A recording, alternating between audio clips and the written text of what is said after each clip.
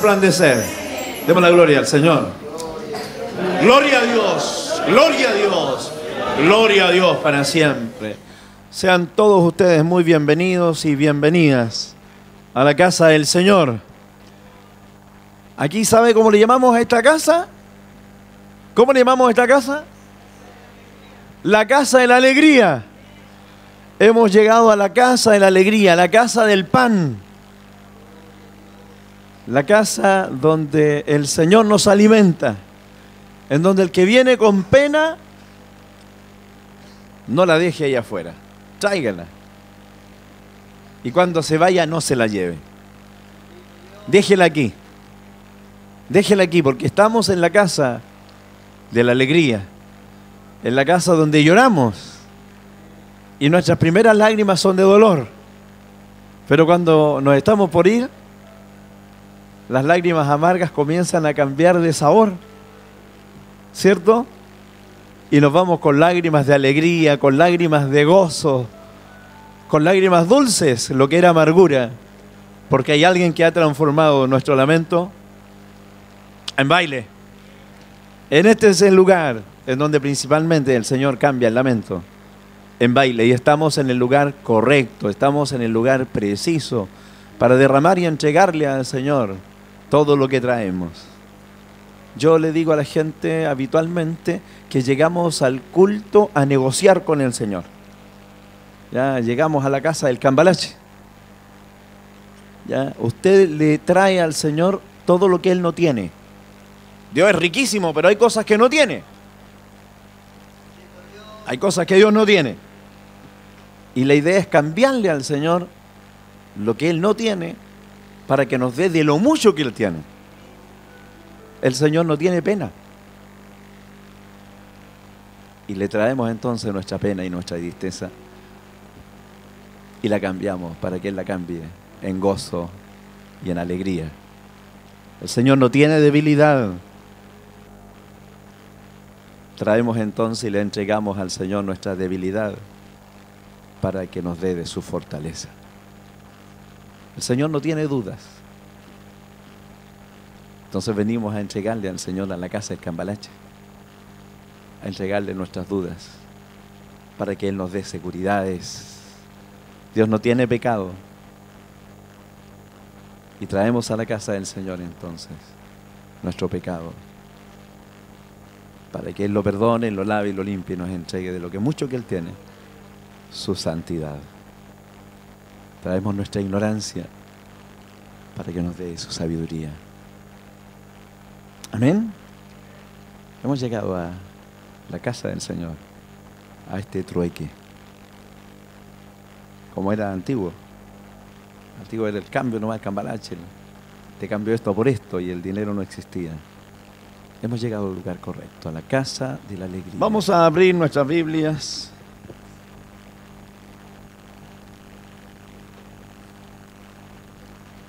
En un salmo de que al menos los mineros que están presentes recordarán.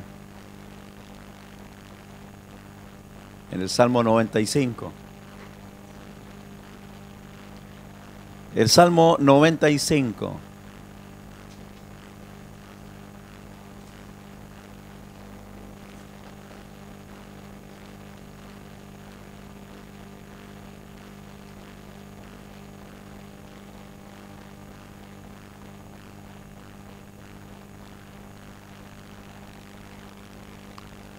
Le damos lectura en forma antifonal.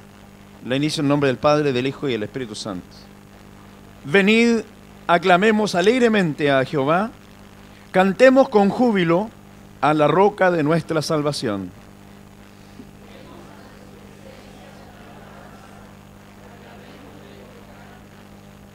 Porque Jehová es Dios grande y Rey grande sobre todos los dioses.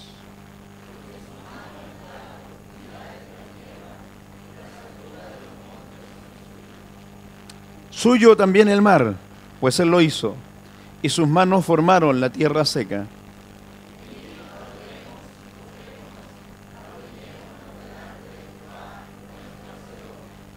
Porque Él es nuestro Dios, nosotros el pueblo de su prado y ovejas de su mano.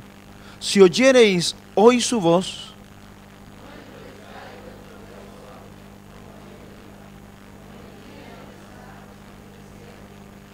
donde me tentaron vuestros padres, me probaron y vieron mis obras.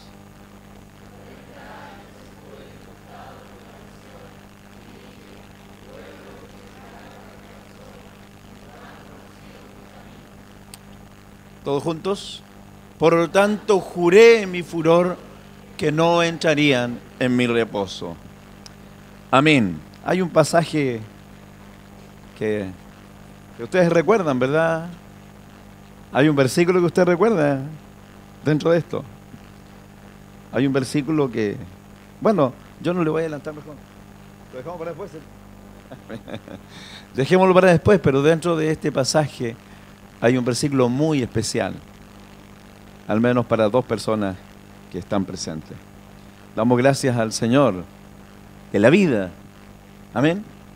Porque está con nosotros. Vamos a darle una nueva oportunidad a nuestros hermanos del coro que nos lleven en una alabanza.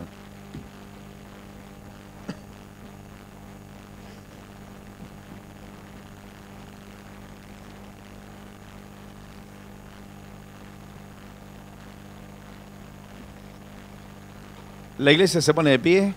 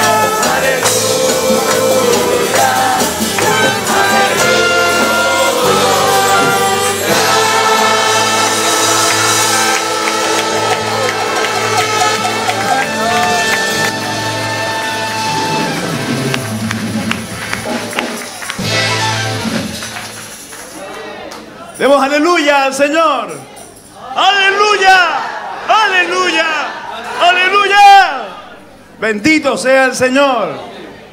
Tome asiento. Bendito sea el Señor. Este Dios que cambia la tristeza en gozo.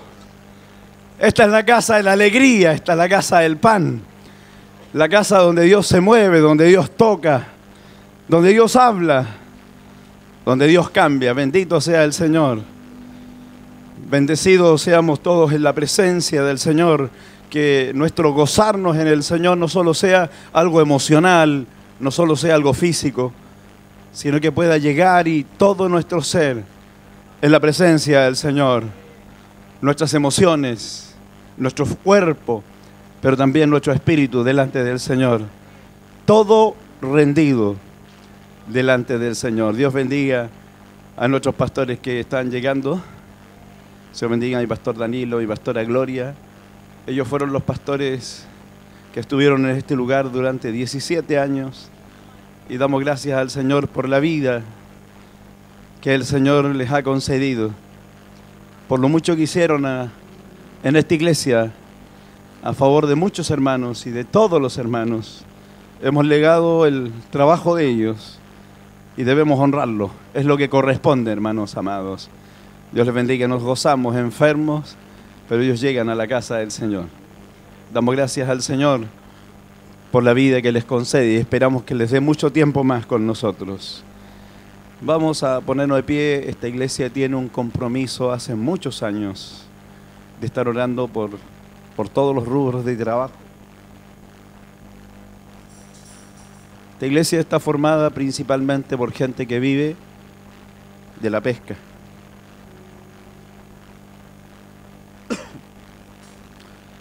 Un lugar donde se sale a trabajar y no se sabe si volverán. ¿Les parece conocido eso? Aquí hay gente que tiene mucha similitud con el trabajo que ustedes realizaban. Ustedes entraban a la mina y no sabían si iban a, volver a, a ver la luz del día afuera. Aquí yo le contaba a mi hermano José de que un poco más arriba, cerca de donde vive mi hermano Gerardo, donde vive mi hermana Isabel, frente de donde ellos viven, está un cementerio simbólico.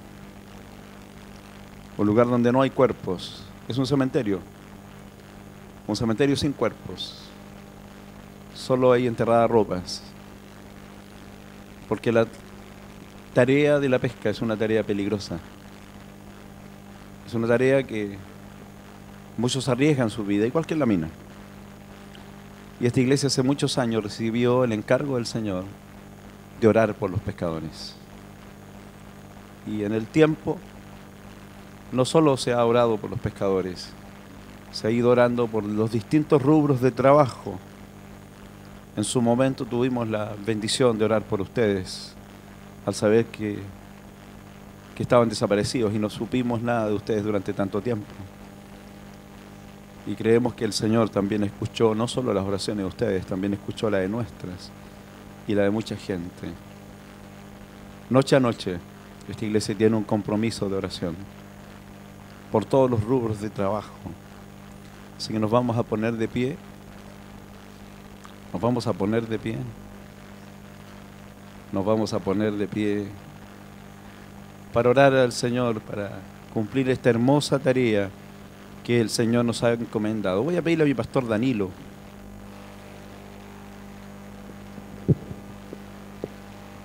que tenga el privilegio de hacer esta oración.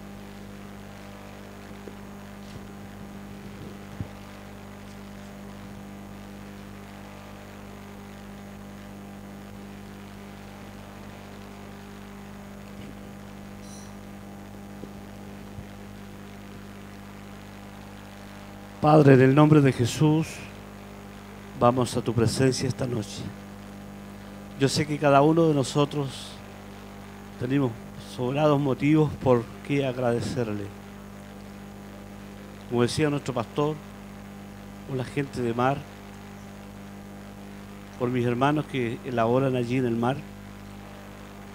Y por esa razón tenemos esta oración diaria una oración que ha prevalecido por los años.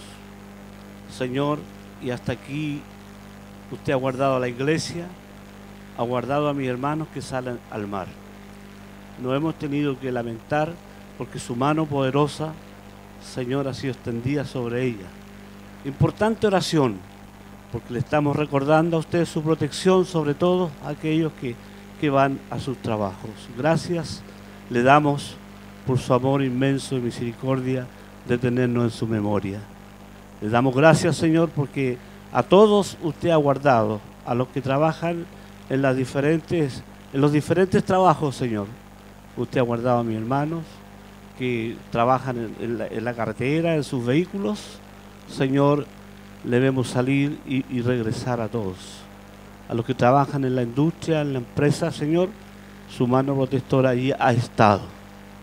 Esta noche tenemos un gran testimonio vivo aquí, latente, en medio de nosotros, como el caso de nuestro hermano, que allí bajo 700 metros de profundidad, Señor, allí estuvo su mano poderosa y misericordiosa para proteger a aquellos 33 hombres que estaban, Señor, separados de todos nosotros. Señor, pero sin embargo usted estuvo allí para guardarlos. Le damos gracias por ese milagro. Le damos gracias por su amor inmenso. Donde vamos, iremos hablando de ese amor de Cristo.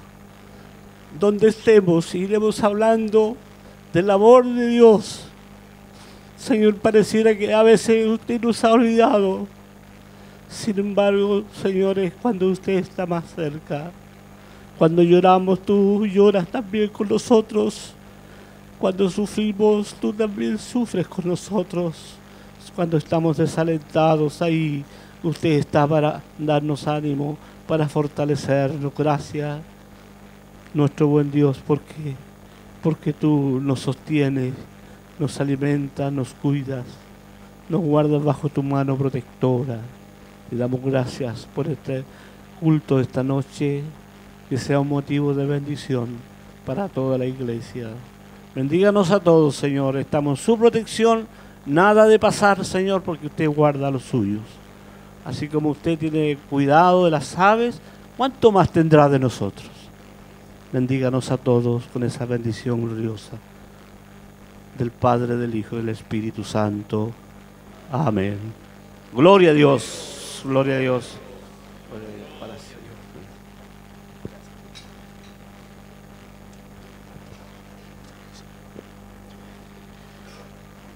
Amén. Creemos que el Señor escucha, que el Señor responde.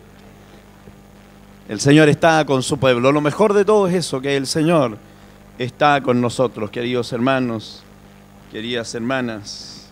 Damos gracias por su presencia, por su misericordia.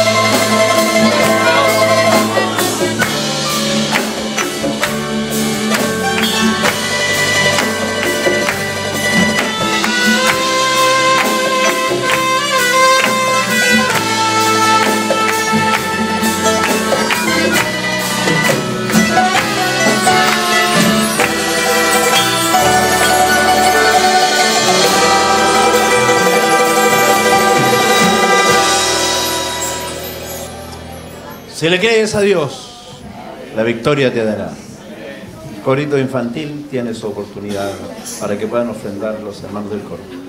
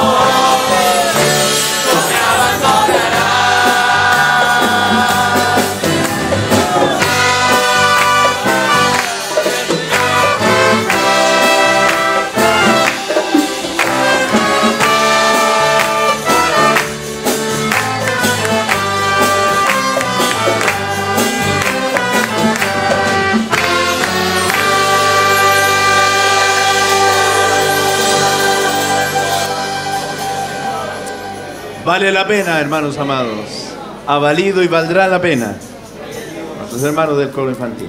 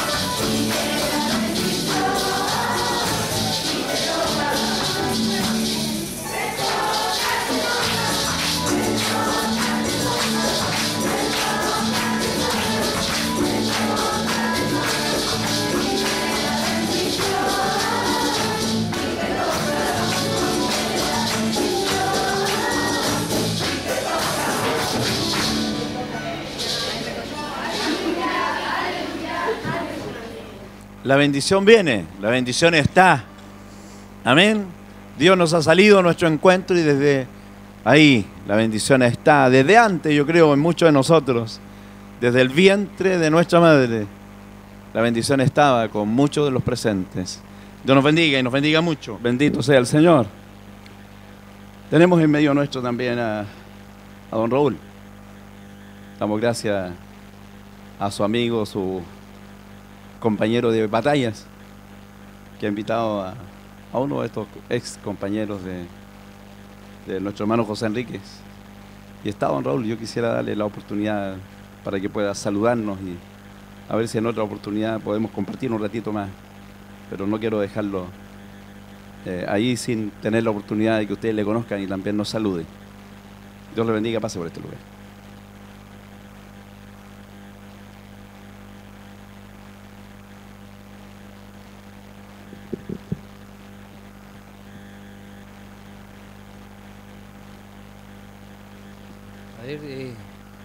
estoy encantado de estar acá. Eh, yo también soy un hombre de pocas palabras, así que eh, no salgo mucho en prensa y ese tipo de cosas, pero, pero igual mi corazón es, bien especial, es bien grande. Y esa persona que ustedes tienen acá, que, es fiel de, la iglesia que los mantuvo abajo nosotros, eh, es alguien muy importante para mí. Él me entregó mucha fuerza, mucha fuerza para, estar en estos momentos y, para estar disfrutando de mi familia. Es, casi, no nunca se lo he dicho, pero es casi un padre eh, que me enseñó a, a estar conmigo mismo y a, creer mucho más en mi Dios que está presente aquí. Eh, Así que bendiciones para, para mi amigo Miguel que me, me- hizo cordialmente la invitación. Pero muy encantado de estar aquí y estar con mi, con mi hermano José Enrique. Así que muchas gracias por la invitación y puede ser que venga otro día. Muchas gracias. Amén.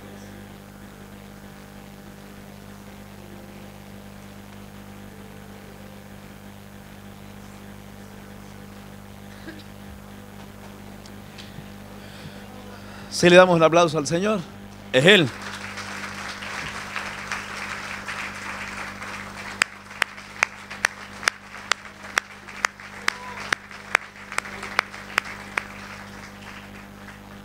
Él es el minero 34. Yo pedí otro micrófono. Tenemos otro micrófono, ¿no? Yo quisiera presentarles a usted y vamos a hacerle algunas preguntas. Yo creo que usted tiene algunas preguntas que hacerle al hermano José, ¿o no? Yo tengo hartas preguntas que hacerle, así que vamos a pedirle un micrófono y vamos a hacer una entrevista en vivo, ¿cierto? Las preguntas que usted quisiera hacerle, ¿qué le parece? Y podamos escuchar de sus labios cómo, cómo el Señor le ha bendecido, cómo, cómo se dio este milagro. A ver si tenemos un video ahí. Tenemos algo, ¿no? Tenemos algo a modo de introducción mientras, mientras tenemos audio por acá.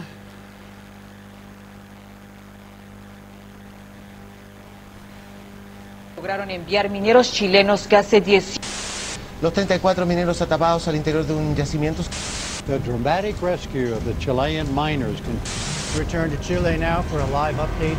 and with everything ready. personal del GOPE también eh, ayudando a la tarea y obviamente personal de carabineros cooperando a lo que es la labor que está afectando bomberos.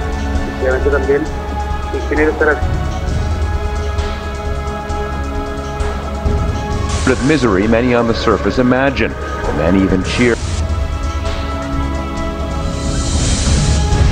Noticia que atrapó a millones de personas. El rescate que conmovió sus corazones.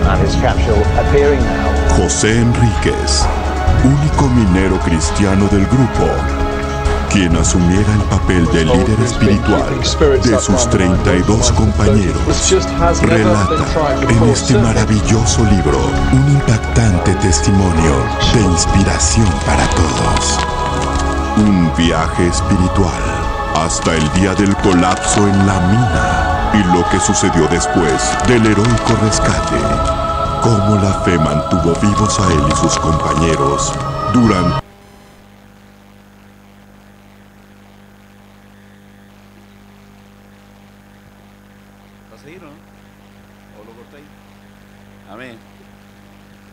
Lo que viene es la promoción del libro que escribió.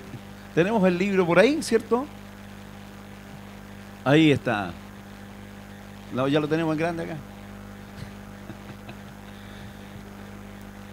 Milagro en la mina. El libro que habla de este Dios maravilloso. Este Dios que nos ha rescatado, este Dios que, que obra cuando incluso las esperanzas se están perdiendo. Voy a pedirle que nuestro hermano José pase por aquí. Vamos a recibirle con glorias al Señor. Gloria a Dios, gloria a Dios, gloria a Dios para siempre. Amén. Yo quisiera hacerle algunas preguntas. ¿Usted ya algunas las conoce? Porque ya este torpedito, este torpedito lo usamos en la mañana. Bien decía, 700 metros bajo tierra. Durante 69 días.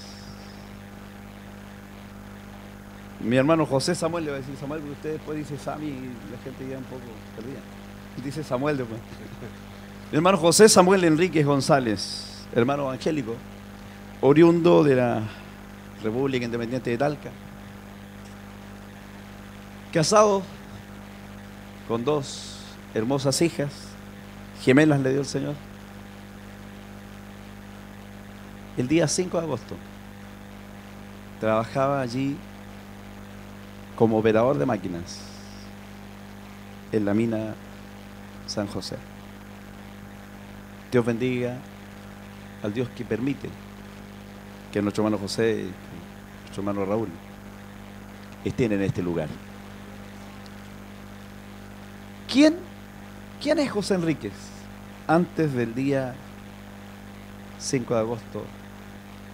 Un día que nos marcó a todo Chile y al mundo ya una noticia que recorrió el mundo. Quisiera que se presentara y que nos contara un poco quién es José Enrique. Bueno, simplemente un hombre que, que aceptó a Jesucristo unos 30 años atrás y no me he arrepentido hasta el día de hoy, se lo recomiendo a cualquiera. Amén. Eh, eh, soy nacido, ¿no es cierto?, en el seno de una iglesia. Mi abuelo es, fue un pastor y de niño vengo escuchando las maravillas de nuestro Dios, escuchando testimonios. Sabemos que el pueblo de Dios está lleno de testimonios, lleno de milagros. Y cómo no creerle a este Dios maravilloso. Pero con el correr del tiempo, ¿no es cierto?, llegamos a ser adultos y tenemos que aceptar a Jesucristo como nuestro único y personal Salvador, como adultos, en forma responsable y seria, porque este Dios no se anda, ¿no es cierto?, con travesuras, sino que es un Dios grande, un Dios maravilloso, un Dios que tiene oído, que escucha la oración, un Dios que eh, entra en cualquier lugar y Él dice que Él es omnipresente.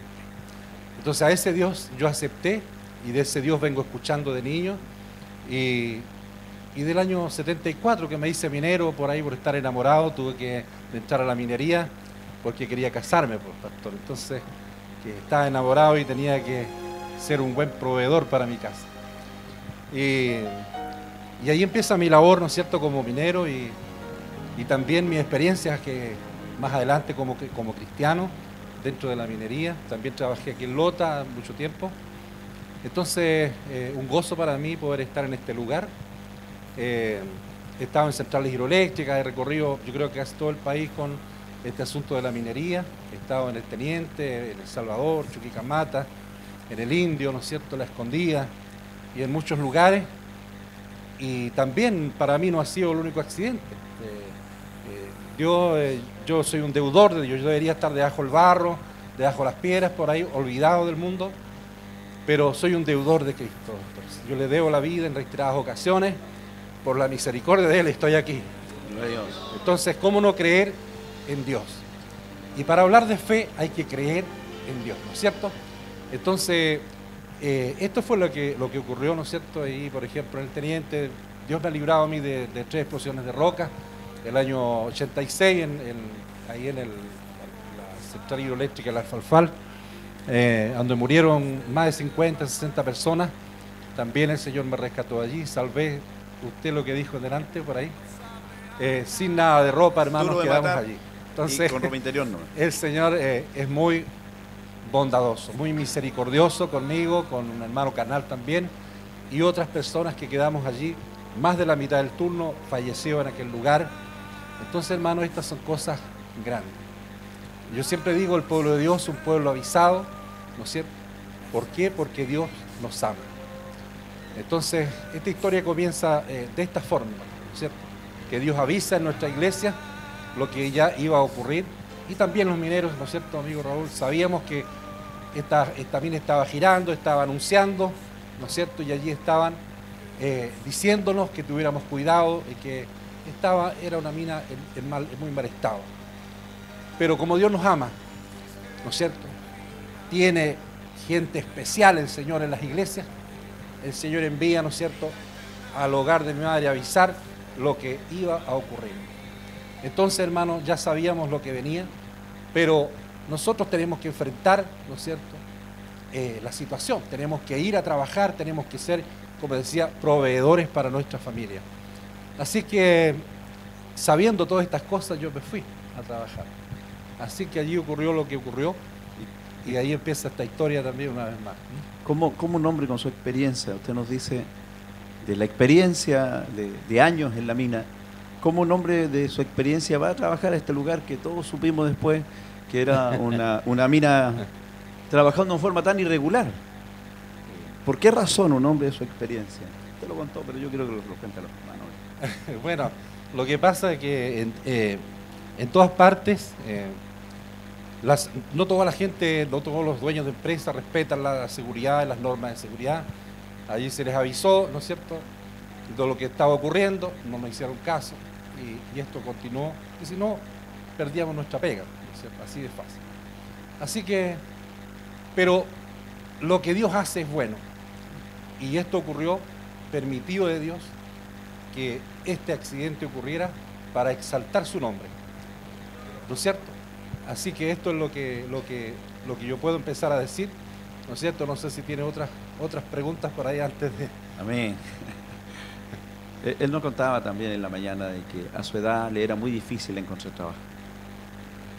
Ya, En esta sociedad en el- la cual nosotros vivimos, que exalta la juventud y cuando se llega a cierta edad ya es difícil. Y a veces, como le pasa a muchos también pescadores en este lugar, en edades complicadas, eh, lo único que les queda es el trabajo y la pesca. Y por esa razón estaba ahí mi hermano José, ¿verdad? Amén. Pero él nos dice de que tuvo avisos de que, de que algo iba a ocurrir. Descríbanos usted, mi hermano José, qué ocurrió aquel día, aquel día 5 de agosto que nos tuvo tan pegados en el televisor y con nuestras rodillas, y tengo que decirlo, yo en ese instante no estaba pastoreando este lugar, estaba mi pastor Danilo, pero creo que lo mismo que nosotros que estaba yo pastoreando en Coronel, nos pusimos en oración, en una campaña intensa de oración. Cuéntenos usted cómo, cómo lo vivió usted, usted estuvo allí y quisiéramos saber qué ocurrió ese día jueves. Bueno, una- una explosión de roca, ¿no es cierto?, nos deja a todos allí eh, y los sorprende en diferentes lugares, en las labores mismas de trabajo. Y, y allí entonces comienza nuestra, nuestra lucha, ¿no es cierto?, de, de poder sobrevivir y sobreponernos a esta situación en que fue algo inesperado, ¿no es cierto? Y no había puerta de escape, no, no teníamos salida por ningún lugar, hicimos todo lo posible por salir de aquel lugar, imposible salir humanamente hablando. Así que esa fue nuestra situación y nos dimos cuenta rápidamente. ¿Y qué tuvimos que hacer? ¿No es cierto?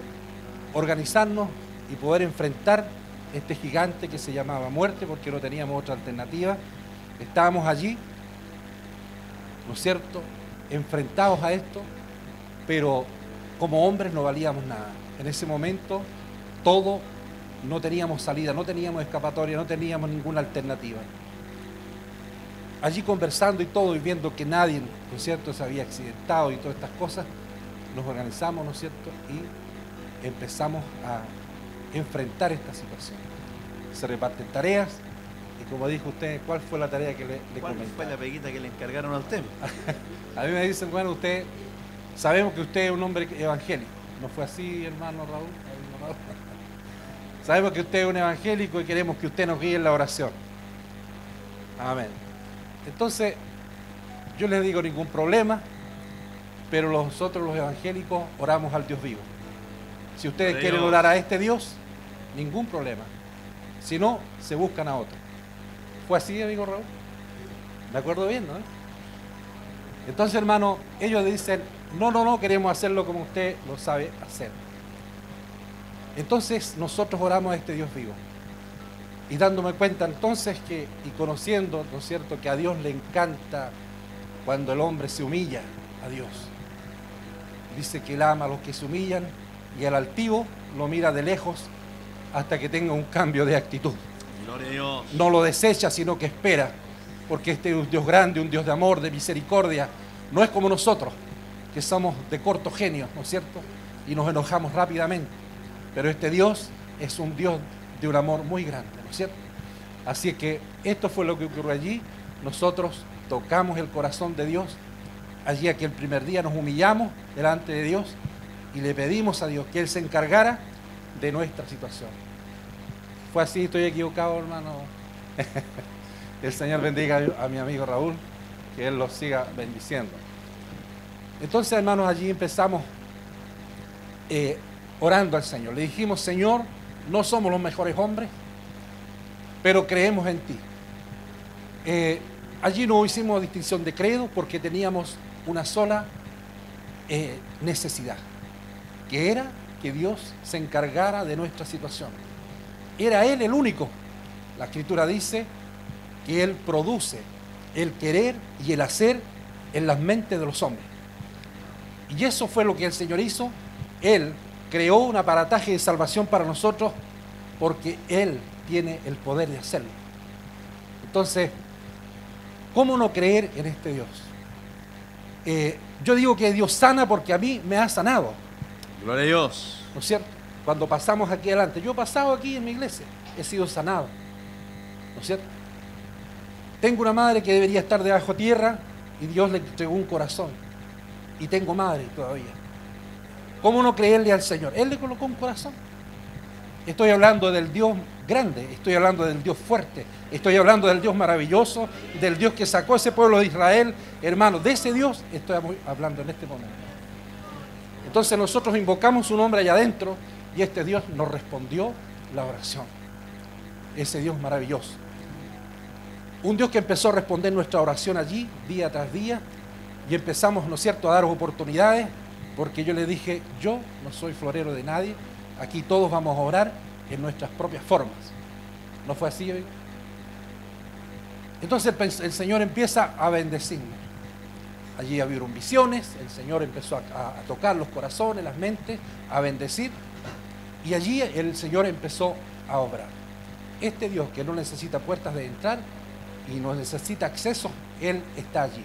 Él permanece porque Él es omnipresente.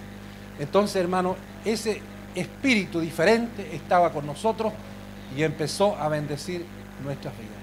Obviamente tuvieron, ¿no es cierto?, diferentes caracteres, no todos éramos iguales, no todos teníamos la misma edad, había allí diferentes personas, pero había un solo espíritu que era el mismo y que nos mantenía unidos y que teníamos un, un buen vivir y tuvimos una buena relación, estuvimos allí animados e incluso contando chistes, hablando de comida.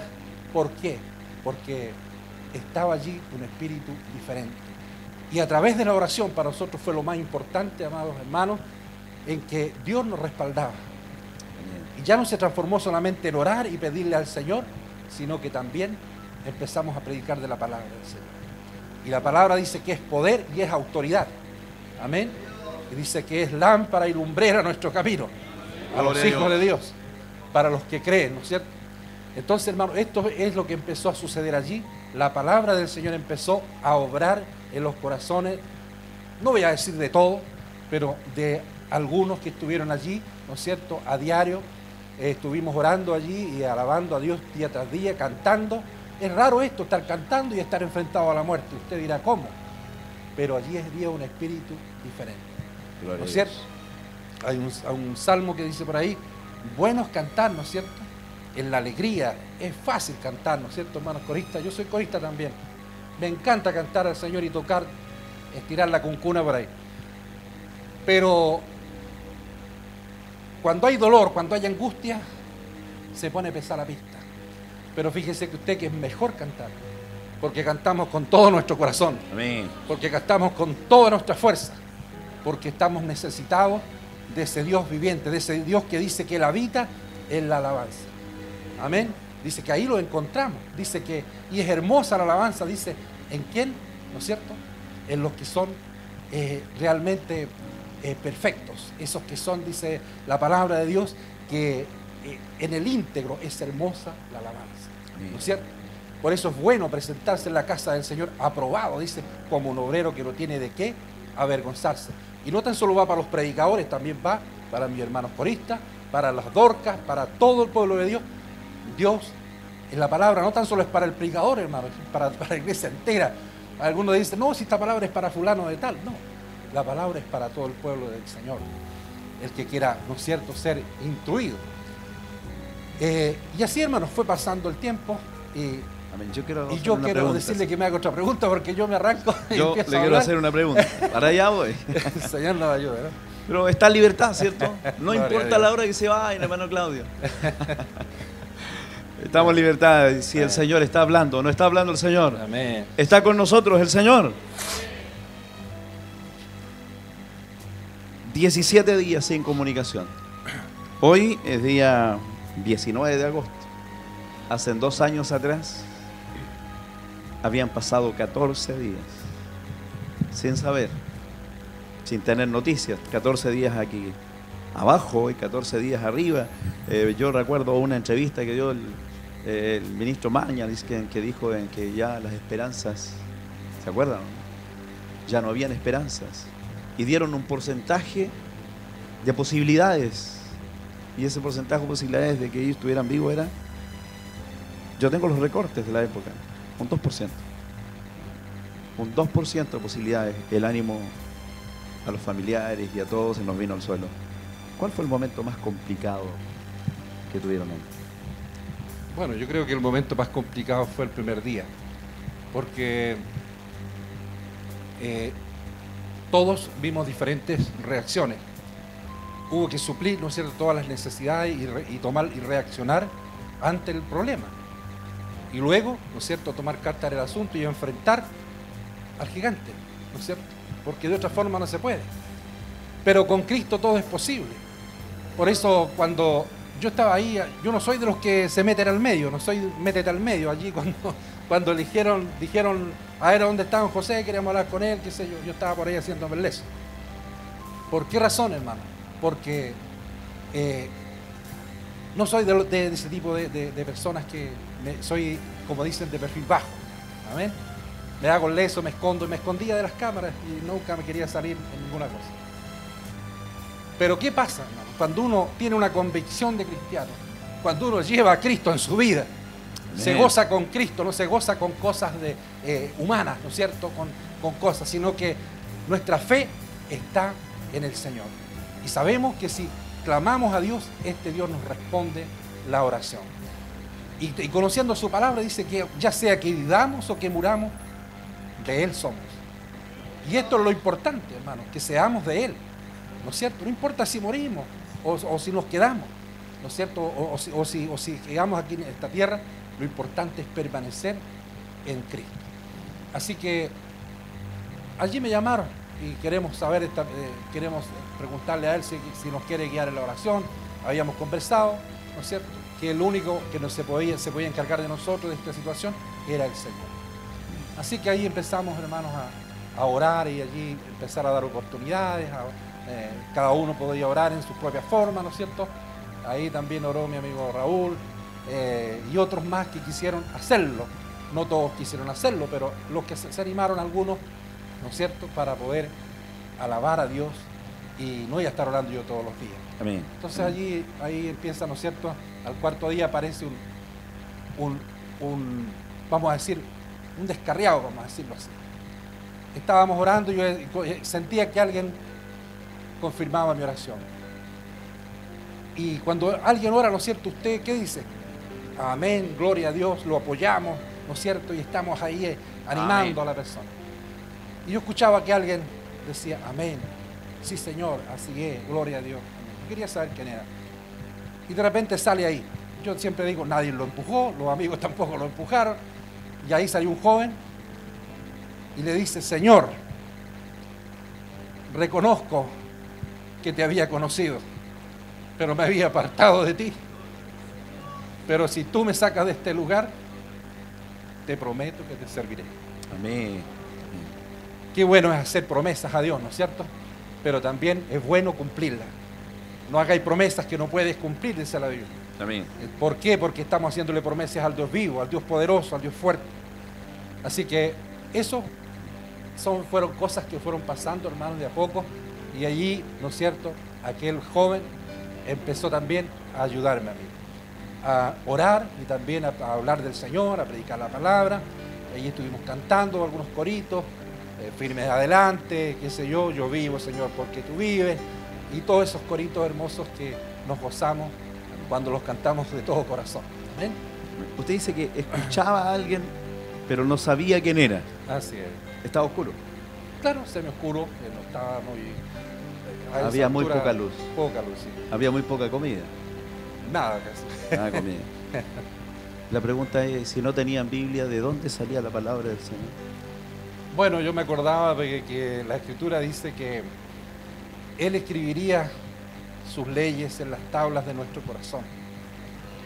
Y cuando vamos a la iglesia, hay un corito que dice, yo no sé a lo que tú has venido, pero yo he venido a alabar a Dios. Y también he venido a ponerle atención a la palabra. También he ido a la iglesia a escuchar la palabra los días domingos, cuando hay escuela dominical. Y cuando el enemigo nos dice, no, si, si no tenéis cabeza para esto. Mentira del diablo. Porque Dios escribe su palabra en nuestros corazones. Solo tenemos que poner atención, ¿no es cierto?, cuando venimos a la casa del Señor. Y así el Señor nos va edificando. Venimos a la iglesia para qué? Para ser edificados, ¿no es cierto? Para llevarnos algo diferente en nuestras vidas, en nuestros corazones.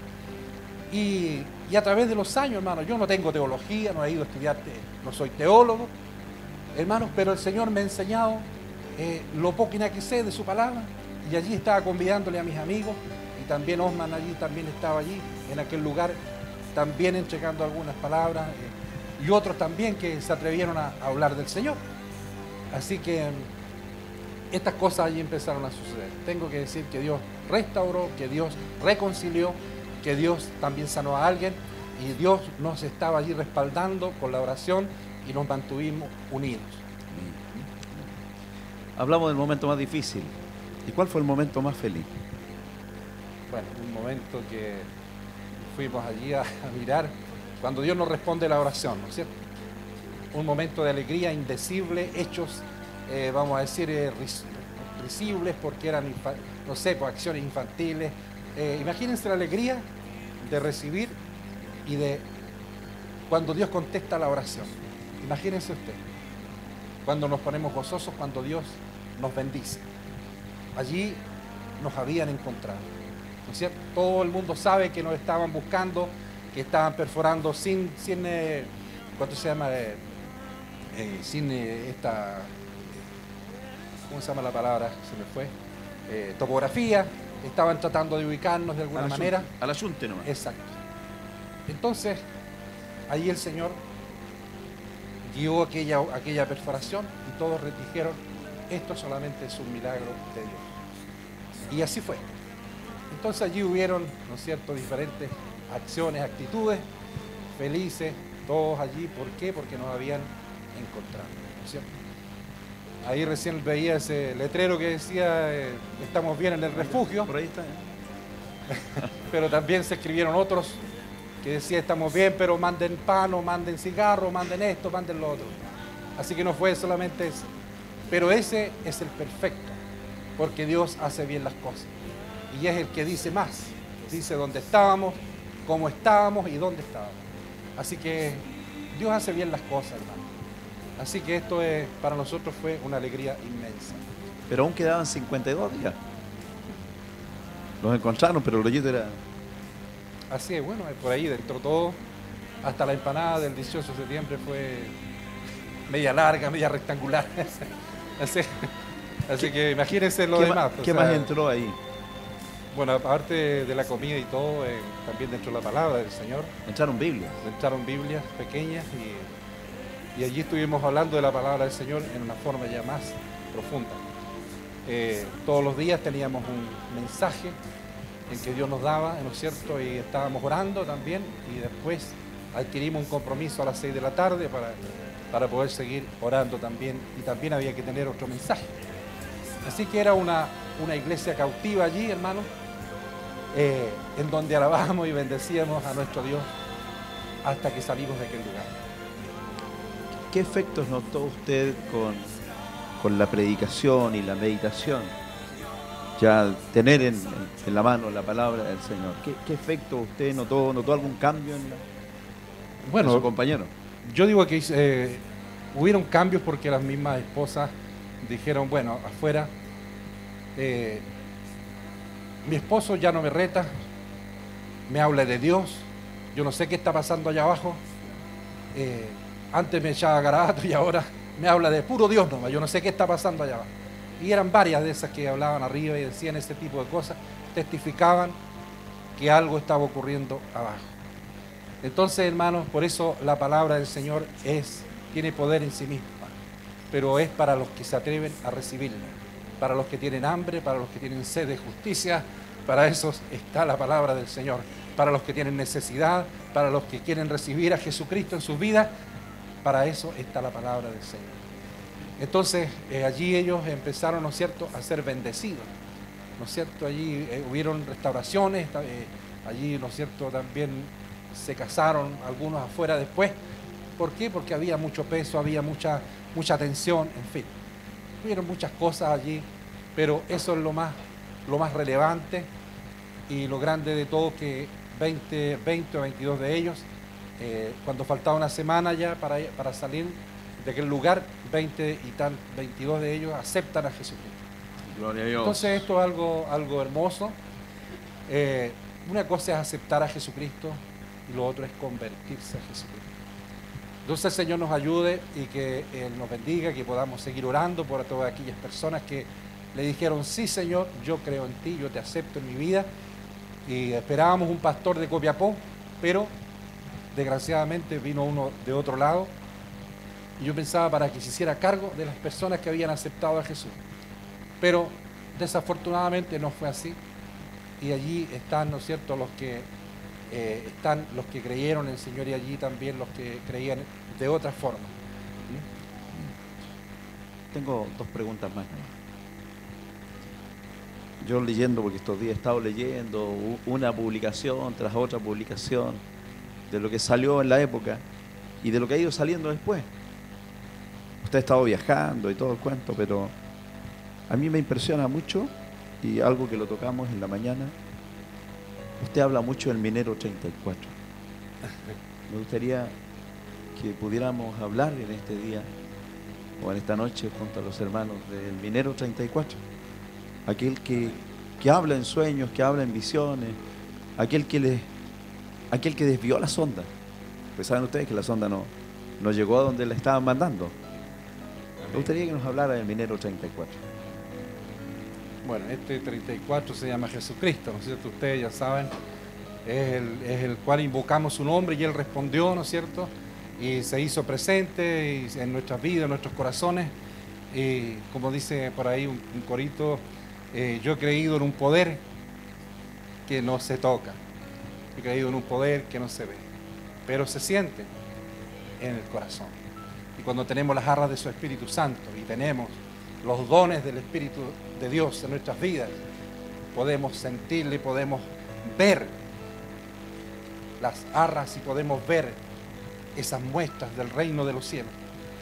Allí, hermanos, eh, era una cosa maravillosa lo que Dios hizo y estas cosas las entienden personas que, que son hijos de Dios, que son el pueblo de Dios, porque son cosas propias del pueblo de Dios. Usted sabe que Dios habla, no habla por hablar en la escritura de dones y talentos y de cosas maravillosas que Dios le da a sus hijos. Y allí el Señor nos muestra, ¿no es cierto?, incluso el lugar donde rompió aquella sombra. Y nos muestra también aquellas máquinas allí rotando. Máquinas de luz girando Hermano, ¿y qué significaba esto? Hermano, que Dios se había preocupado de nosotros, que Dios había respondido a la oración. Por eso había una paz, una tranquilidad. Por eso el que habla de fe, ¿no es cierto? Tiene que creer, tiene que tener fe, ¿no es cierto? En el Señor. El que le habla de fe a otro y, uno le puede decir, mira, espera, eh, eh, espera en Dios. Él va a responder nuestra oración. Pero hay que hacerlo con convicción, creyendo que ya lo tenemos, ¿no es cierto? ¿Por qué? Porque el Señor ya nos había contestado la oración. Allí hubieron visiones, hubieron cosas maravillosas, cosas espirituales, hermosas, hermano. Entonces, hermano, esto, este aparataje de salvación lo formó Jesucristo. Por eso, este minero 34, hermanos, se encargó de nuestra situación. Entonces, hasta el último momento, ¿no es cierto? Allí fuimos probados también el último día cuando ya íbamos a salir, ¿no es cierto, amigo Raúl? El cerro empieza ahí a crujir de nuevo y empiezan, ¿no es cierto?, el temor y apropiarse, ¿no es cierto?, de la fe. Entonces, Señor, nos ayude y nos bendiga. Allí estábamos, allí listos para salir, ¿no es cierto?, de aquel lugar, pero allí llamamos a la oración. ¿Por qué? Porque había habido un Dios que habíamos recurrido a Él y Él nos había contestado la oración. Entonces yo le digo, bueno, vamos a tener que orar aquí, no sale nadie hasta que no oremos porque hubo un Dios aquí que nos ha contestado la oración y mientras no oremos no sale nadie de acá. Y me dice, sí, don José, de veras que oramos al, al Dios vivo y en fin, aquí y allá y todos dan su opinión. Oramos al Señor, bendijimos esa cápsula y le pedimos hasta ángeles al Señor. Usted dirá, ¿de dónde estaban esos ángeles? Que nos salieron por la televisión y no los vimos por ninguna parte. Entonces, hermano, cuando llego a mi iglesia después de casi dos semanas de estar en Copiapó, en el primer servicio, el Señor toma un instrumento. Sabemos que Dios tiene instrumentos, tiene gente especial. Y Cindy, y llega y me dice, mira, pediste ángeles y ángeles te envié. ¿Por qué, hermano? Porque ellos cuidaron nuestra salida y nuestra entrada. Entonces, hermano, estos, estas cosas maravillosas, hermanos, ocurrieron allí. ¿No es cierto? Son cosas espirituales, son cosas eh, que el mundo tal vez no sabe. El mundo sabe el comienzo y sabe el final, pero no sabe, ¿no es cierto?, lo que Dios hizo con nosotros allá adentro y otras muchas cosas más. Yo estoy contando cosas así, ¿me entiende? Lo más importante, lo más, porque hubieron muchas otras cosas maravillosas que ocurrieron. Así que, hermano, una camiseta que nuestro hermano, nuestro pastor nombraba aquí con el Salmo 95, ¿no es cierto?, que estaba en la espalda tuya, ¿no es cierto?, son las profundidades de la tierra y las alturas de los montes. Para llamar la atención y para decirle al mundo que allí abajo habían habido hombres que le habíamos creído a Dios y les preguntamos a cada uno de ellos si se las iban a poner, dijeron que bueno, las vamos a poner. ¿Por qué? Porque era una oportunidad única, un evangelista, y me escribe para adentro y me pregunta, los veo saliendo con estas camisetas. Yo le dije, voy a preguntarle si la quieren usar, y ellos dijeron, lo, hacemos, estamos dispuestos a, testificar con esa camiseta. Y decía, gracias Dios, y también en, en- inglés también decía lo mismo. Y allí, hermanos, entonces estábamos testificando del Dios vivo y dándole las muchas gracias porque Él había estado con nosotros y nos había sacado sanos, ¿no es cierto?, de aquel lugar y, muy bendecidos. Esto es más o menos lo que ocurrió allí, hermanos, en cuanto a las cosas que Dios hizo. Dios hace cosas grandes con gente, con hombres de buena voluntad. No importa si es presidente o quien sea, quien sea, Dios tiene poder para tomar las mentes de los hombres. Allí las intenciones primeras eran de hacernos la cruz con cal y dejarnos allí. Esa era la intención del hombre. Pero Dios dice la última palabra. Dios produce y toca los corazones, toca las mentes y Él mueve, ¿no es cierto? Y Él empezó a mover allí los familiares y allí, ¿no es cierto? Se produjo esta inquietud y empieza, ¿no es cierto?, a formarse este aparato de salvación para nuestra fe. Tenemos la portada de su libro. Pronto va a salir una película. Bueno, así, ojalá Por- que salga. ¿Por qué escribir un libro y escribirlo solo? ¿Por qué escribir un libro? Bueno, me atreví a hacer eso porque le hemos preguntado en reiteradas ocasiones, ¿no es cierto, amigo Raúl? A los señores de, la, de Hollywood, ¿qué iba a pasar con la parte espiritual que vivimos adentro? Para la Y película. no- y no- claro, justamente. Y no nos han dado respuesta, no nos quieren dar respuesta. Ellos van a hacer una película comercial. Ellos no van a, no van a tomar incluso ni, ni siquiera fijarse en personajes, sino que van a hacer algo diferente. Y me atreví yo a hacer esto porque el principal protagonista de este accidente no puede quedar afuera. Y se llama Jesucristo. Y estoy decidido a eso. Así que, y además, que Dios a través de este testimonio ha salvado a muchas almas, amigos. Muchas almas, hermanos queridos. No aquí, porque Él dio la orden en la iglesia donde yo estoy. Y también el pastor Cooper me andaba buscando allá en aquel lugar para enviarme, porque Dios ya había dicho, los enviaré a las naciones. ¿Para qué? Para testificar de esto, de Dios, de lo que ha hecho Jesucristo en aquel lugar. Entonces, para esto, hermano, es el testimonio, no es para un testimonio más, sino que es para salvar personas. Dios busca nuevas estrategias para salvar porque Él viene pronto a la tierra. Eso es lo que está ocurriendo. Ese es el, es el verdadero propósito, hermanos, de este testimonio, de este accidente. Sabemos que estamos en los últimos tiempos, sabemos que vienen cosas duras, estamos en principios de, dolor y, vienen, sí, vamos a seguir viendo dolores y cuántas cosas. Pero Dios toma de diferentes estrategias para qué? Para salvar al que está perdido, para traer a Cristo a los pies de Cristo, a los que todavía no se deciden a aceptar a Jesucristo, porque la- el propósito del Evangelio es salvación y es vida eterna. Por eso muchos buscan a Jesucristo por los panes y los peces y por las añadiduras. Pero Dios no está para ayudar, sino que esas son cosas que vienen después. Pero Dios quiere verdaderos adoradores, que le adoren en espíritu y verdad. Y después vienen esas cosas que vienen de atrás. Y Dios nos colma de bendiciones. Pero para eso tenemos que convencer que le creemos al Dios vivo, a este Dios maravilloso que nos da este gran regalo que se llama vida eterna. No nos sirve de nada tener tantas cosas en este mundo, hermanos, si no tenemos la salvación. Usted ve que hace pocos días atrás eh, estoy ahí en un velorio, un primo mío se fue, un minero también. Usted ve que a todos los mandan para el cielo. ¿Se ha dado cuenta? Pero son buenos deseos. Lo importante es que sea de Cristo, que se vayan con Cristo. Eso es lo importante. No es nada morirse, pero murámonos con Cristo, hermano. Eso es lo, lo- lo tremendo, porque Cristo viene, ¿no es cierto?, a tomar cuenta, dice, a la tierra. Y eso es lo que el propósito del Evangelio, que Cristo quiere salvar nuestras vidas y no importa cuántas veces, en mi, en mi caso, el Señor me ha salvado, estoy, yo debería de estar bajo tierra muchas veces, como dije delante, pero tengo gratitud en mi corazón y no me importa lo que, lo que pueda hacer el hombre contra mí, sino que yo quiero hacer la voluntad para lo cual Dios me dio la orden. Y por eso he ido, he salido a otros países, a otros lugares, a otras iglesias, hermanos, a testificar de este Dios grande, de este Dios maravilloso que estuvo allá abajo con nosotros. Amén, amén. Y es ninguno de, de mis amigos 33 pueden negar la presencia del Espíritu Santo de Dios allá abajo. Gloria a Dios. Este es el Dios que yo vengo a testificar a este lugar. Amén. Usted ha estado estos últimos días y hace poco estaba en España. Sí. Ha estado en Inglaterra. Ha estado con el presidente Piñera. Ha estado con el presidente Obama. Ha estado en la iglesia de Rick Warren, ahí en Saddleback, en una iglesia enorme. Ha estado viendo de que el propósito de Dios se está cumpliendo. Amén.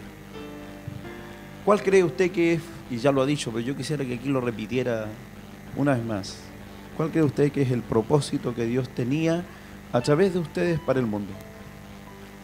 Bueno, Jesucristo, eh, usted sabe que Dios conmovió cinco continentes con, esta, con, esta, con este accidente. Y les recordó al mundo y los unió en, en oración, en cadenas de oración, en ayunos y en muchas cosas. ¿No es cierto? Y les recordó al mundo que debíamos orar los unos por los otros. ¿Por qué? Porque dice primera de Timoteo que esto es agradable al Señor. Dice que, él que debemos hacer reiteradas oraciones. Dice, por todos los hombres, por los que están en eminencia, por los tristes, por los angustiados, por los afligidos, por los enfermos, por todos. Cristo quiere que nosotros oremos por ellos. Entonces, hermanos, que el Señor nos ayude para poder eh, comprender el propósito que tiene Dios para con, con el mundo, con el mundo entero, porque Dios quiere que todos, dice, procedan a ser salvos. ¿No es cierto? Y, y Dios les ha recordado, Dios, eh, yo tengo mucho que agradecerle, somos gente que tenemos que agradecerle, incluso a los niños. Usted sabe que los niños son terribles cuando oran, son los más sinceros que, que puedan haber. Eh, yo tengo cartas por ahí que no las quiero ni abrir, porque cuando abrí algunas allá en la mina, eh, uno rompe en llanto y es, es algo maravilloso cuando un, ni- un niño habla. Eh, los niños oraron por nosotros, en los lugares donde yo he andado para afuera, muchos niños oraron por nosotros, nos recuerdan la oración. Entonces aquí hay algo grande, algo maravilloso, hermanos, el mundo entero orando por cada uno de nosotros fue algo maravilloso. Y la iglesia, la iglesia del Señor orando también todos los días por nosotros, mucho, mucho que agradecer. Orar el uno por el otro es una orden del Señor. Yo le doy las gracias porque oraron por nosotros. Pero, como le digo, es un deber, es algo que debemos hacer, es algo que debemos practicar. Amén. Te vamos terminando la última pregunta. Aquí, como le dije, este es un lugar de pescadores, este es un lugar de gente que sale y a veces muchos no han vuelto y, y conocemos algunos casos. ¿Por qué cree usted que hoy, 19 de agosto del año 2012, usted está aquí? Es una pregunta, una pregunta muy personal.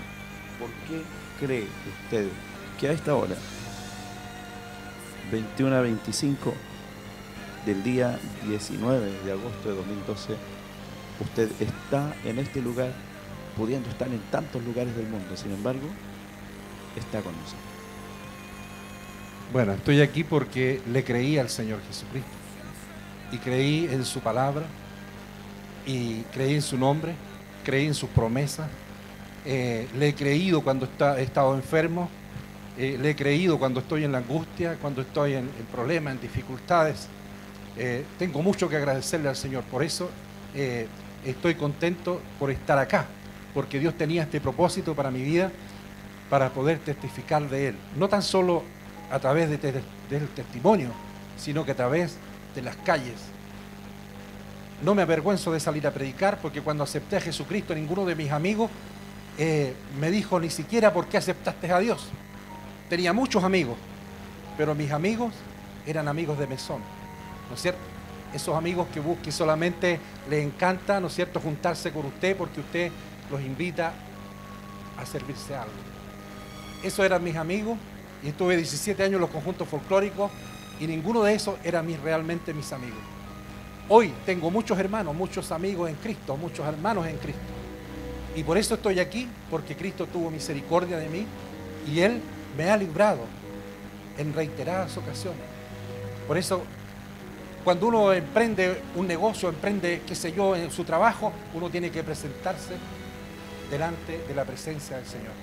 Señor, en tu nombre voy a ir a este lugar. En tu nombre voy a entrar a esta mina, en tu nombre eh, voy a emprender este negocio. Siempre nuestro Dios tiene que ir delante de nosotros.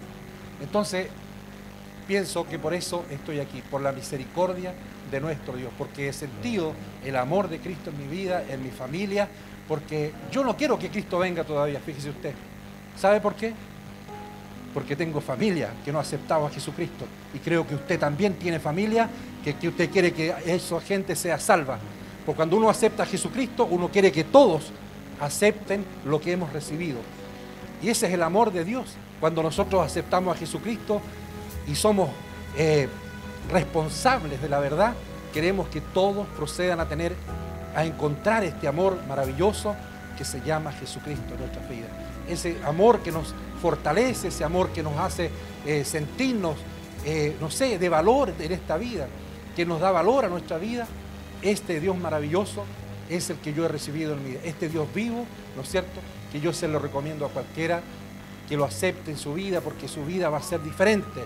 Ya no será como, como hasta ahora ha sido, sino que será diferente. Dios, ¿no es cierto? Dice que Él acampa alrededor de los que le temen.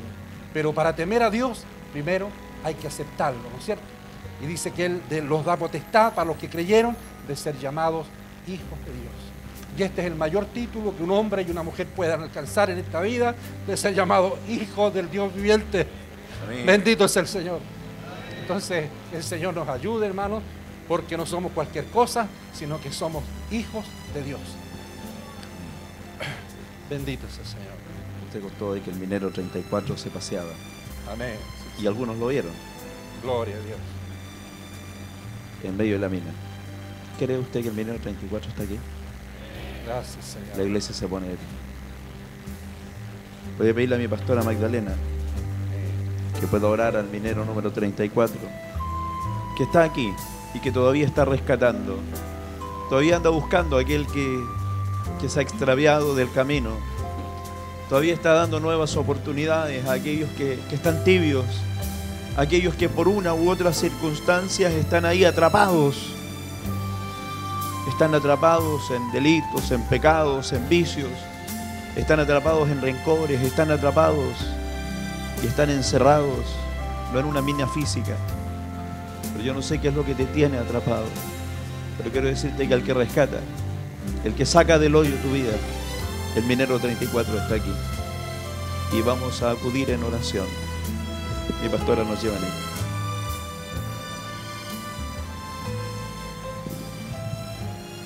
Padre Celestial, Señor Jesús, gracias te damos, Señor, por el privilegio, Señor, de tener a tu Hijo en medio de tu pueblo, Señor, mi Dios.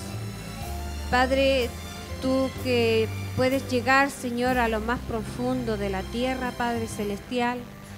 Tú que estuviste, Señor, con tus hijos allí, Padre Santo. Tú que les libraste, Señor, mi Dios, de la muerte. A ese Dios, Señor, mi Dios, alabamos y bendecimos. Padre mío, en esta hora, Señor Jesús, quiero rogarte, Señor, por aquellos que todavía no te conocen, por aquellos, Señor, quizás que no, saben, Señor, que hay un Dios todopoderoso. Padre Celestial, te ruego, Señor, por aquellos que andan perdidos en el mundo, Padre Santo, aquellos que se han apartado de tus caminos, Padre Celestial, aquellos, Señor, que están en el vicio, Padre Santo, aquellos que duermen en las calles, Padre Celestial, sin conocerte. Padre Santo, Señor mi Dios, gracias te damos, Señor, por la vida de tu Hijo, por la vida de mi hermano José, Padre Celestial, por este testimonio maravilloso que Él han entregando, Padre Santo.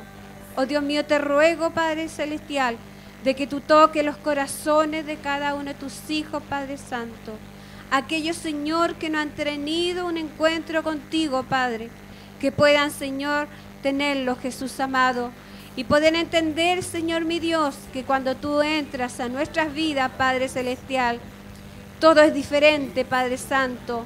Nada puede dañarnos, Señor Jesús, porque tú estás con nosotros, porque tú caminas con nosotros, porque tú nos cuidas cada día, Padre Celestial porque tú estás atento a nuestras oraciones. Gracias, Padre Santo. Bendice, Señor, en esta hora a cada uno de tus hijos, Padre. Si hay alguno en esta noche que no te ha conocido, Padre Celestial, toca su corazón, Padre Santo. Te lo ruego, bendito Salvador, en el nombre de nuestro Señor Jesucristo. Amén.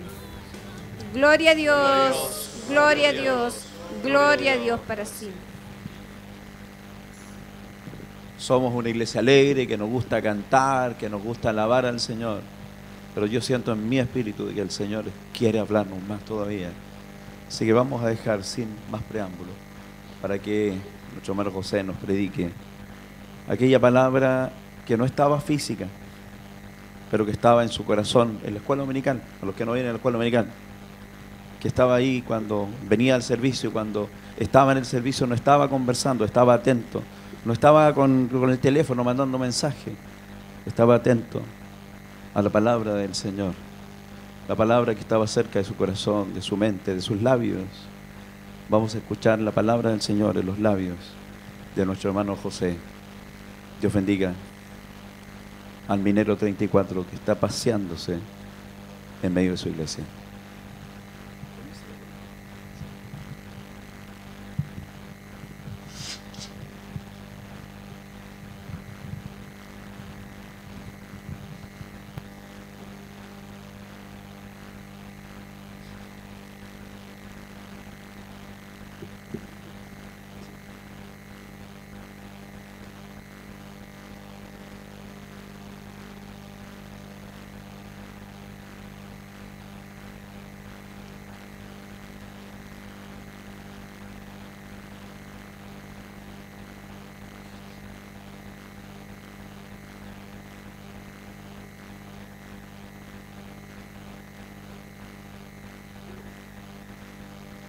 Bien, mis hermanos. Su palabra está en 1 Timoteo, capítulo 2.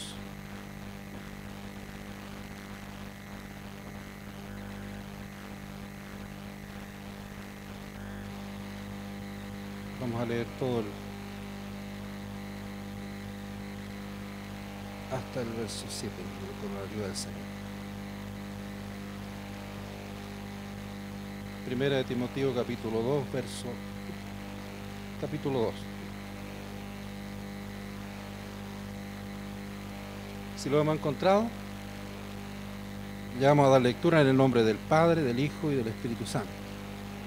Dice, Exhorto ante todo a que se hagan rogativas, oraciones, peticiones y acciones de gracia por todos los hombres, por los reyes y por todos los que están en eminencia, para que vivamos quieta y reposadamente en toda piedad y honestidad, porque esto es bueno y agradable delante de Dios nuestro Salvador, el cual quiere que todos los hombres sean salvos y vengan al conocimiento de la verdad, porque hay un solo Dios y un solo mediador entre Dios y los hombres, Jesucristo hombre, el cual se dio a sí mismo en rescate por todos, del cual se dio testimonio a su debido tiempo. Amén. Padre bueno, gracias Señor por la lectura de tu palabra. Ven Señor a escribirla en nuestros corazones, séllala Señor. Bendice Señor a cada uno de nosotros en esta noche a través de ella. Amado Dios de los cielos, glorifícate Padre y sella Señor este mensaje en cada uno de los corazones. Te lo ruego en el nombre del Padre, del Hijo y de su Espíritu Santo. Demos la gloria al Señor. Gloria a Dios, gloria a Dios, gloria a Dios para siempre.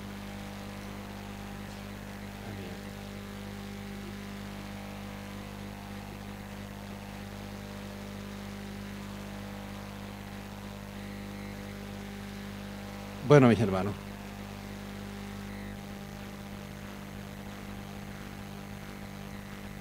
Pablo, ¿no es cierto?, a Timoteo, enseñándole a este, a este varón, ¿no es cierto? Y, y exhortándole, dice, a que se hagan rogativas, oraciones, peticiones y acciones de gracia por todos los hombres, ¿no es cierto? Sin acepción de persona alguna. Este es el Evangelio del amor, ¿no es cierto? El Evangelio de la misericordia de nuestro Dios. Dice, por los reyes y por todos los que están en eminencia, para que vivamos quieta y reposadamente en toda piedad y honestidad, porque esto es bueno y agradable delante de nuestro Dios y Salvador. Que el Señor nos ayude, ¿no es cierto? Tal vez podríamos decir que tengo que orar por los reyes, que tengo que orar por el presidente, pero esto es agradable delante de Dios, que nosotros oremos sin distinción, ¿no cierto?, de personas, sino que podamos orar por nuestros semejantes, somos llamados a amar, amarnos los unos a los otros. Hermanos, y esto es lo que eh, el apóstol Pablo, ¿no cierto?, recomienda a Timoteo, ¿no es cierto?, que se hagan estas reiteradas ocasiones sin distinción de persona alguna, ¿no es cierto? El Señor nos ayude, el Señor tenga misericordia que nos ayude a nosotros a practicar esto en nuestras vidas. El cual quiere, dice, que todos los hombres sean salvos y vengan al conocimiento de la verdad. Amén. Yo decía atrás, en delante, yo no quisiera que el Señor viniera porque realmente hay mucha gente, hermano, que no ha aceptado a Jesucristo. Eh, a este mediador que habla la Escritura en esta noche, a este Cristo que se entregó a sí mismo y que no hay otras formas, hermanos, de entrar al reino de los cielos si no es a través de Jesucristo.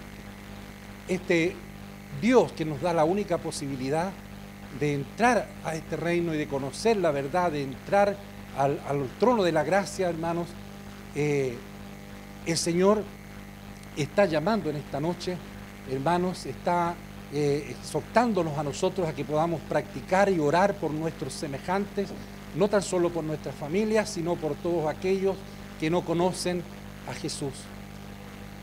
Todos aquellos que están angustiados, que están tristes, que están encadenados, atados, ¿no es cierto? Como decía nuestro pastor, eh, eh, están a lo mejor no están en, una mina, sino que tal vez están atados en la droga, están atados en el vicio, en el vino, en el cigarro, en tantas cosas que son desagradables hermanos, delante de Dios.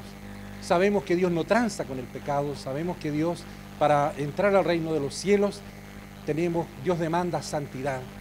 Y para eh, lograr esto, hermanos, tenemos que despojarnos de todo el peso del pecado, entregarnos y, y, convertirnos a Cristo de todo corazón y entregarle toda, ¿no es cierto?, nuestro peso, nuestra carga, todo lo que está en nuestra vida.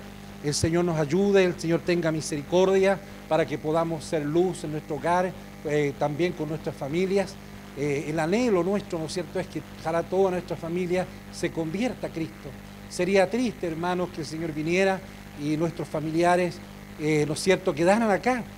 Y aún nosotros mismos, si no estamos a, a cuentas con el Señor, también vamos a tener que quedarnos acá porque no le hemos hecho caso a la palabra del Señor. Entonces el Señor tenga misericordia de nosotros, hermanos. Dice, porque hay un solo Dios y un solo mediador entre Dios y los hombres. Jesucristo hombre, el cual se dio a sí mismo en rescate por todos, de lo cual dice se dio testimonio a su debido tiempo. Amén. El Señor nos ayude, Él tenga misericordia de nosotros y que este mediador que está en esta noche llamando a su vida, a su corazón, es la única forma de ser salvo. Es el único mediador. No hay otros mediadores, no hay otras formas. Aquí no hay virgencita que, valga, hermanos, no hay, no hay San Sebastianes, no hay nada aquí, sino que Jesucristo. Así lo dice su palabra en esta noche y esa es la verdad del Evangelio. Solamente Jesucristo es el camino al Padre. Él dice, yo soy el camino, soy la verdad y soy la vida. Nadie viene al Padre si no es a través de mí. Amén. Entonces el Señor nos ayude. Tenemos un solo acceso y se llama Jesús. Tenemos un solo mediador y se llama Jesucristo. Este Cristo tiene que, tenemos que dejarlo entrar en nuestras vidas, en nuestros corazones, que tome dominio de nosotros, que Él haga con nuestra vida como a Él le plazca. Y así, hermanos, podemos entonces tener este acceso a la salvación, al propósito del Evangelio, que es darnos vida eterna, por los siglos de los siglos. La Escritura dice, del momento en que creíste, fuiste salvo, ¿no es cierto? Porque la salvación es un regalo, ¿no es cierto, amados hermanos? Pero tenemos que retener esta salvación tan grande en nuestra vida, acercándonos, ¿no es cierto?, a los medios de gracia. ¿Para qué? Para que nuestra vida sea limpiada, para que podamos vivir una vida agradable a Dios mientras estemos acá.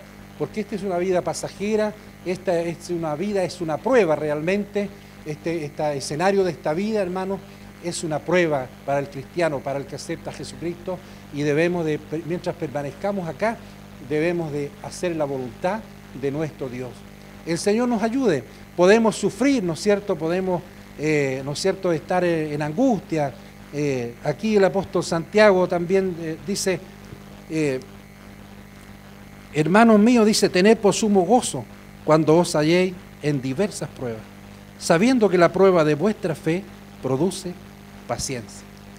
Mire usted, el Señor nos ayude, ¿no? Él tenga misericordia de nosotros, hermanos, para que podamos aceptar la prueba, la dureza, pero también, como decía nuestro pastor adelante, sepamos también eh, vencer la bendición, porque también la bendición es motivo también de colocar el pie afuera. El Señor nos ayude, el Señor nos bendiga, hermanos amados, que nosotros podamos alcanzar victoria en Cristo Jesús, que podamos, eh, Dios demanda, el Señor demanda santidad, y para esto, hermanos, nosotros tenemos que eh, practicar la palabra, no tan solo leerla y olvidarnos de esto, sino que podamos nosotros tener la oportunidad de practicar esta palabra.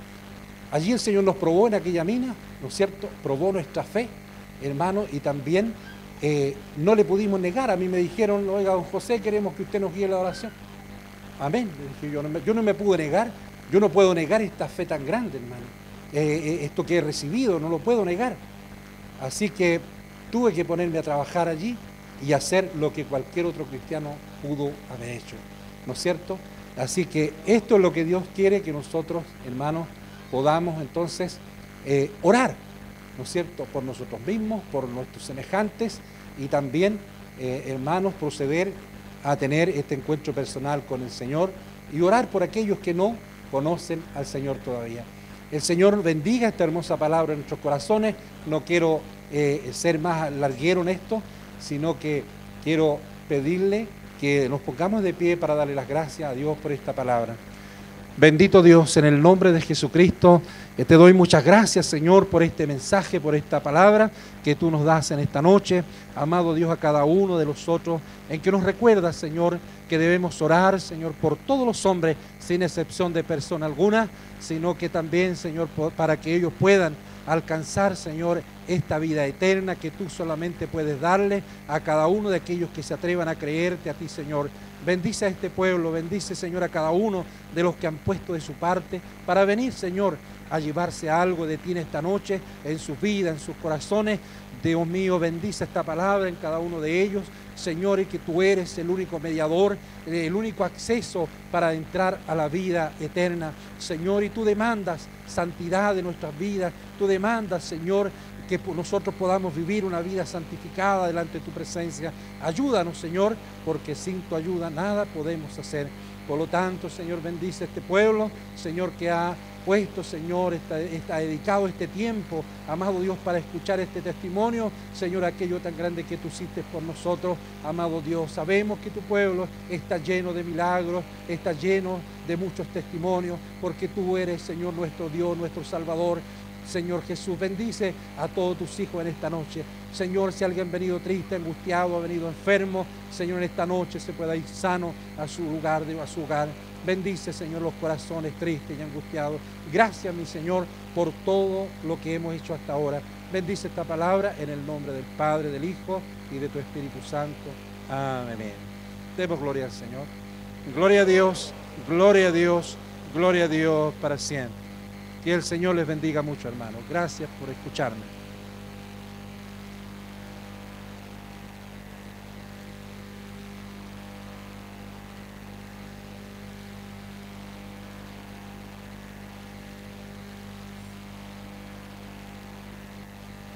Yo ya aprendí que, le, que agüita. Queridos hermanos y hermanas, estamos contentos con el Señor el Señor es bueno. Hay un Dios que ha hecho este hermoso milagro porque ha venido a buscar y a salvar lo que se le ha perdido. Yo no sé cuántas personas están aquí en esta noche ya, pero creo que el hermano José no ha venido en vano a este lugar. Yo creo que el recuerdo de, este servicio y de este testimonio va a perdurar por mucho tiempo en nuestra memoria. Amén. ¿Quién ha sido bendecido en esta noche? Yo he sido tremendamente bendecido. No sé cuántos coristas han sido bendecidos. ¿Se pueden dar la gloria al Señor o no?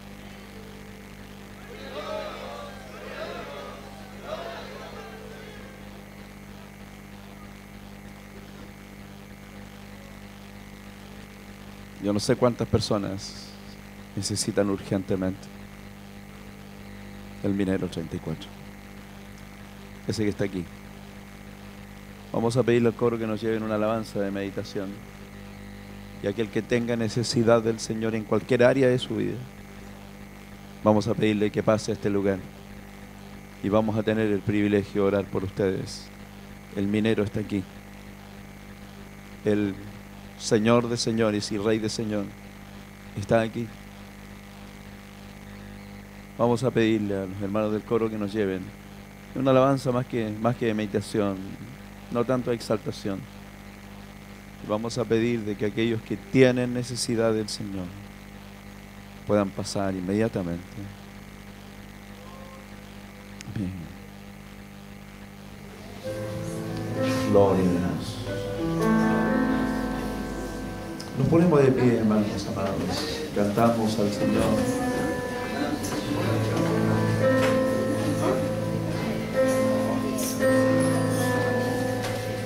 En sus manos están las alturas y las profundidades, son suyas.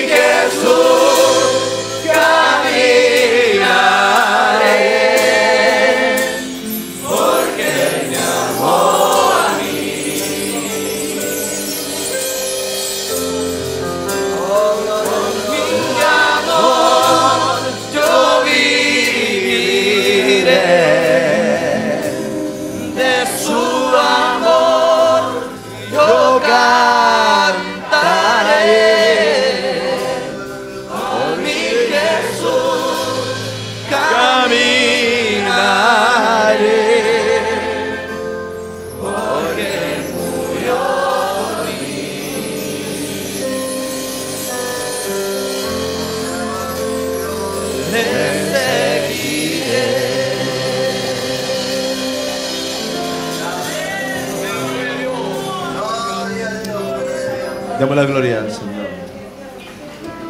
Gloria a Dios, gloria a Dios, gloria a Dios, gracias. Gloria a Dios por lo que hace. Gloria a Dios por lo que ha hecho. Y gloria a Dios por lo que aún hará. Nuestro Dios es un Dios que no está muerto. No tenemos un Dios al cual podamos tallar de un pedazo de madera. ¿Han leído ese pasaje o no de Isaías? Es como, es como absurdo. Dice, viene el hombre, corta un árbol, con la mitad del árbol prende fuego, se calienta, hace comida, come. Una vez que ha comido, mira la otra mitad del árbol, comienza a tallarlo y se hace un Dios. Se arrodilla delante de él y le dice, Dios sálvame, Dios ayúdame. Es el mismo árbol que le sirvió para calentarse, que le sirvió para, para prender fuego. Nuestro Dios enciende otros fuegos y la llama que hemos recibido en esta noche pueda pasar a otros. Amén. Nuestro Dios no es un Dios que está muerto, es un Dios que está con nuestra hermana. Es un Dios que está con aquellos que han pasado. Es un Dios que estuvo con los 33, era el minero invisible, pero que los acompañó y que desvió la sonda. Decían que, que tenía un quiebre, ¿se acuerda que decían así que iba a ser difícil sacarlos porque, porque no era en línea recta? Había un quiebre, el que provocó el quiebre para que la sonda entrara y entró por al lado. Ustedes vieron la foto, no entró recta al, al medio.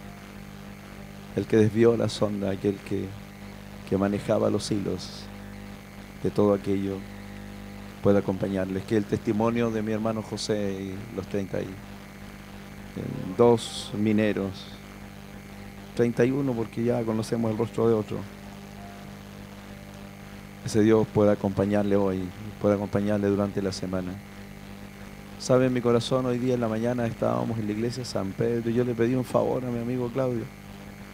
Si él nos podía grabar el culto allá en San Pedro para venderlo a los hermanos. Y yo dije, y el de, de Talcahuano igual. Pero sabe que la bendición la van a tener los chicos allá arriba. Si usted quiere tener este culto, creo que mi hermano Nelson y los hermanos de multimedia lo han grabado.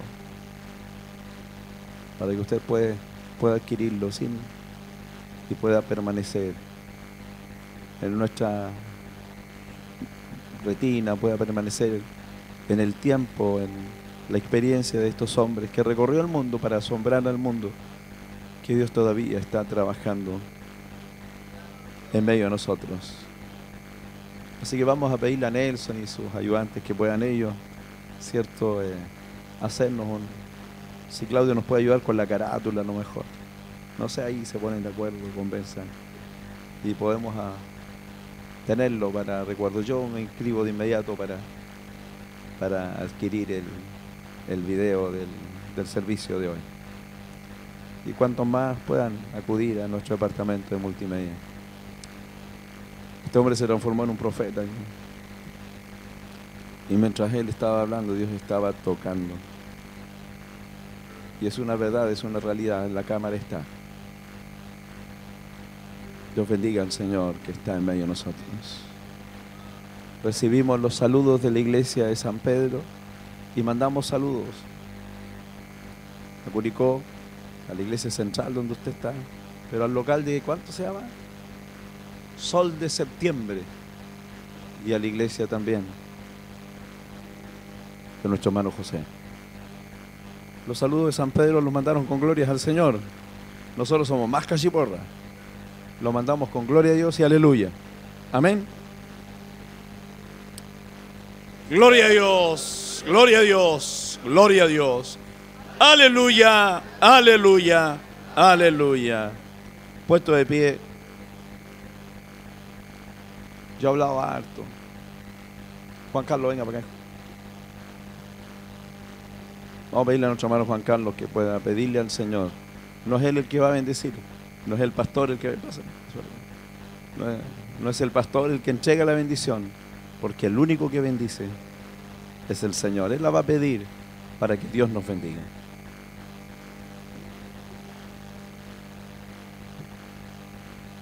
Padre,